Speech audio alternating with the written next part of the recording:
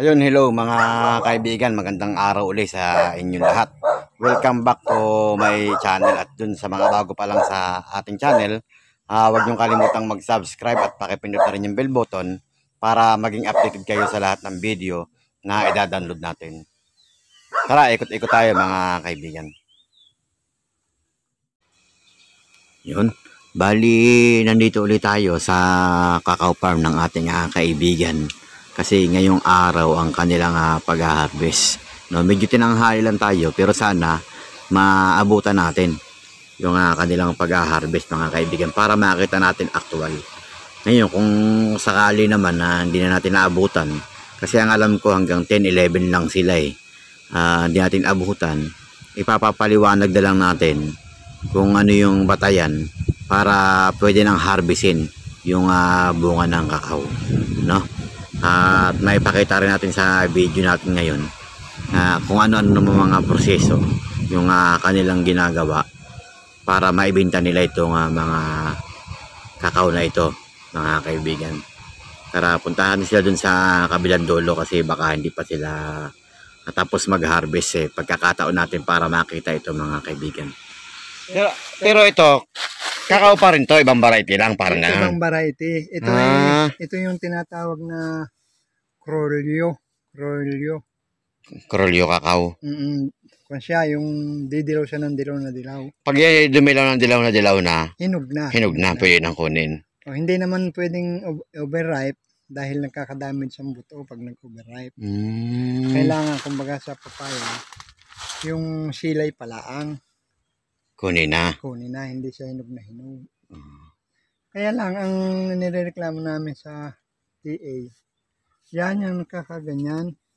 opo Yan naman, masama lang ang balat, opo pero ang buto, okay naman hindi naman nag-iiba. oo Mga ganito ba? Oh.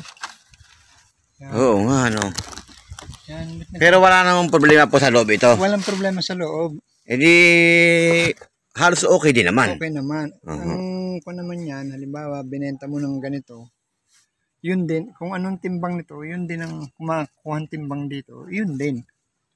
8, 8 pesos per kilo ang pamimili ng pagbibili. yung buo lang na ganito 8 pesos O yung, basta itong halimbawa, ito, siya, saka ito, halimbawa, ang tumimbang yan ng isang kilo, equivalent to 8 pesos. 8 pesos Na. Mhm. Oo.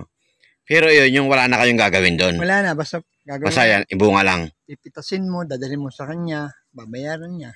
Mm. Ngayon, pagkatuyo naman, pagka yung hinog, papatuyuin mo, peppermint mo muna siya ng mga 6 to 7 days. Perment, yung patatagasin mo siya.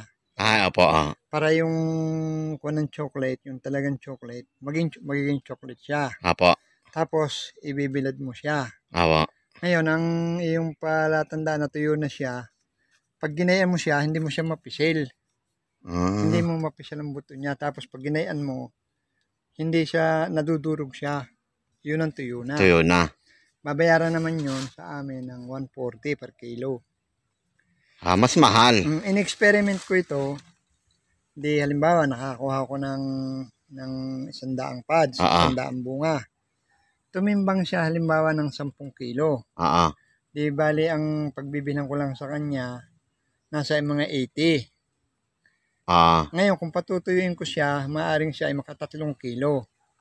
Doon sa tatlong kilo, pagbibilang ko naman, 420. mas ma halos, halos triple. Oo, kuan lang siya. Kumbaga may process lang kasi. May, may trabaho. Kumbaga trabahonin mo lang. Mm, Oo. tatrabahuhin mo lang. Kaya mas maigi pa rin ho yun. Oo, kasi Oo. Wala namang problema sa pagbibilad eh. Kasi ma- tsaka mas maalwa naman yung pagbiyak at pagbibilad kaysa dun sa Mm. pag-harvest. At saka yung kanyang balat, ito, dalawa ang purpose na kumaring gawin. Pwede mo siyang gawing pataba sa halaman. Ah, okay. Pagka ikaw ay matiyaga, pwede mo siyang gawing uling. Ah, Nagagawang uling, tutuyuin lang maigi. tutuyo lang maigi. Yun. Ah, may, maganda. Kaya nga ako ito yung puro kape. Oo. Kape to. Ang problema sa akin, yung hirap ba, walang mamimitas. Oo. Kasi nung araw, ang klase ng pamimitas, per balde. Oo. Kailang balde ang mamimitas, yun ang babayaran mo. Mm. Ngayon, ang nangyayari, araw. Araw siya. Ay, Ay, malaki ang... Kuhan, 400 ang araw.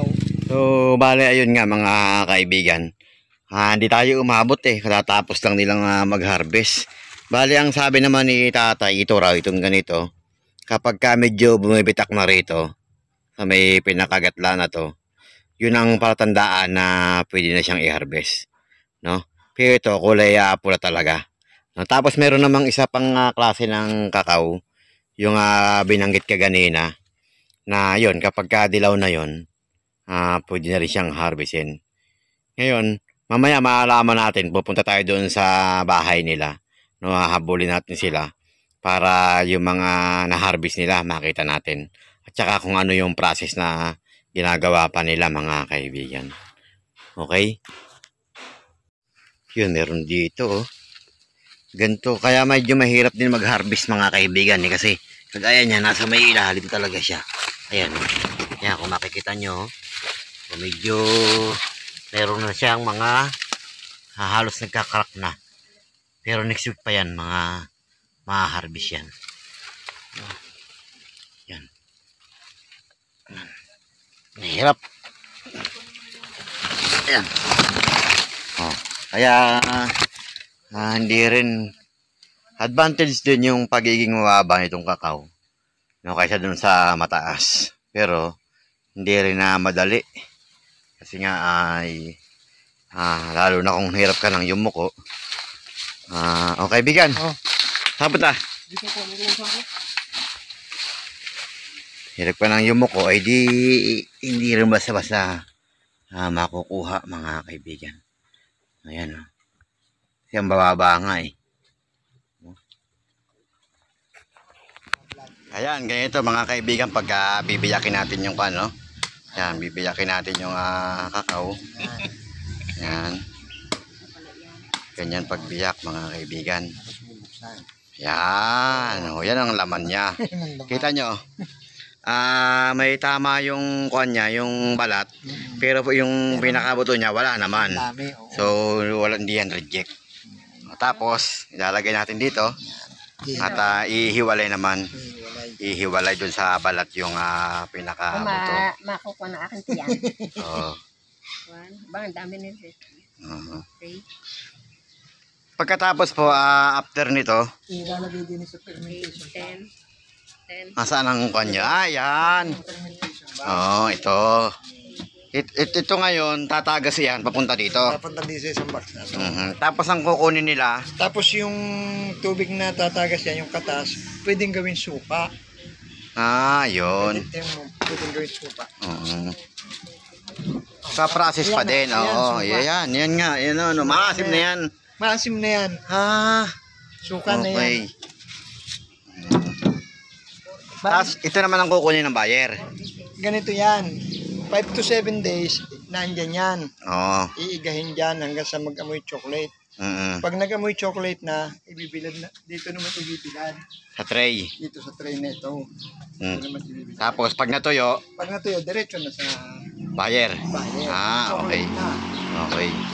So, yun, mga kaibigan, after dito, dahil ibinubukod nga ni Nana yung ah, buto, dadalhin dito sa may ah, fermentation po ba ang tawag dito? Fermentation box. fermentation box. No, diyan ilalagay yung mga butong sariwa. Pagkatapos, tatagas kasi yung pinakakatas niyan doon sa may ilalim. Dito, dito No. may ilalim. Na kung ku- Yan, diyan tatagas yung katas. pwedeng gawin suka. Na itong pinagkatasan, yung tumagas na yan, pwedeng gawin ding ah, suka. Maasim yan mga kaibigan. So, ito, tatagal yan dyan ng mga 5 to 7 days. No, mangangamoy kan siya, chocolate. chocolate. Pero hindi pa yon ang pinaka-finish. After nun, ililipat natin sa tray at patutuyuin sa araw. ng araw. Pagka tuyo na, saka pa lang yun kukunin ng ah, buyer. Tapos gagawin ng chocolate. Lagay ng chocolate yun. Tapos hindi lang yun, mga kaibigan. Itong balat. Itong balat na ganito, Gagawin. Ano? ito, gagawin naman, pwede naman itong gawin nating ah, fertilizer. No, Oo, uling, pwede ring uling. Panggatong. Pagka gagawin naman nating uling na parang panggatong, patutuyuin lang natin sa araw kapag tuyon-tuyo na. Yan, mas ma mas makwanto. Kaya walang kuan, walang waste. Wala halos waste. Lahat lahat nakapakinabangan mga kaibigan. Mo. Ayan, oh. Tinawa ko punong-puno na tong isang to. Oh. Ayan, oh. Ayos, oh. Ayan, walang sayang. Pag tatantadin mo lang yan, pwede nang pataba sa halaman. No, kung gusto niyo naman, tuyuin natin sa arawan. Pag tuyon-tuyo na, gagawin namang pinakauling.